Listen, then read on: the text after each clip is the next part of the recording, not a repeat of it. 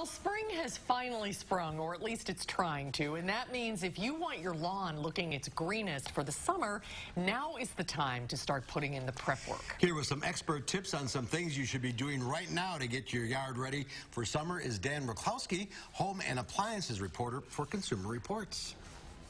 Dan, let's start off talking about lawn gear. Let's say you forgot to winterize your mower and tools last winter. Can you just start them up and go ahead? You don't want to start them up right away if you didn't winterize them. All you got to do is uh, take a turkey baster uh, dedicated solely to this task and use that to empty the fuel tanks. Uh, you don't want that stale fuel getting into the motors and getting into the fuel lines. It can cause problems and it's just much more difficult to get out of the lines uh, once you've started it. So get that fuel out and once that's done, uh, put in some fresh fuel and some fuel stabilizer, and then you'll be good to test out your gear. You might even want to get it replaced. Is now a good time to buy new gear?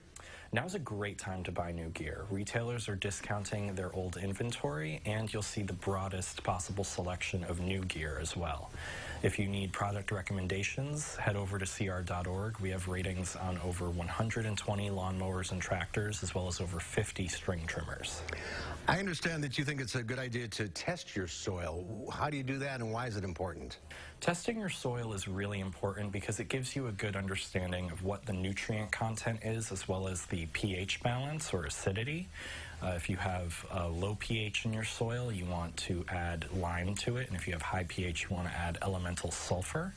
The best way to get a soil test done is to reach out to one of the more than 100 land grant schools in the country. They'll charge you a small fee, uh, and it will take a few weeks, so you'll want to get that done sooner rather than later.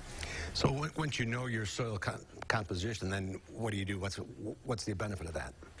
So the benefit of knowing uh, the, the composition of the nutrients is it, uh, it'll really help you in choosing your fertilizer. So fertilizers um, on the packaging will have three numbers separated by hyphens.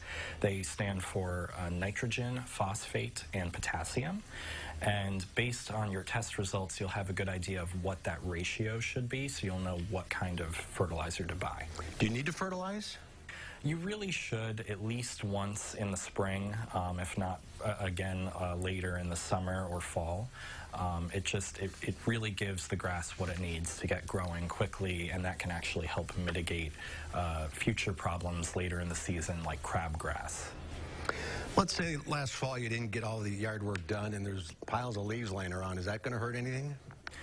Uh, piles of leaves will hurt the grass. It actually inhibits its ability to grow. So what we recommend you do is either compost those leaves or even better, uh, use the mulching kit that comes with your mower to mulch up those leaves and disperse them through the yard. They contain a lot of nutrients and will actually cut back on the amount of fertilizer you need to put down. All right, time to get out in the yard. Dan, thanks for the advice. No problem. Anytime. Thank you.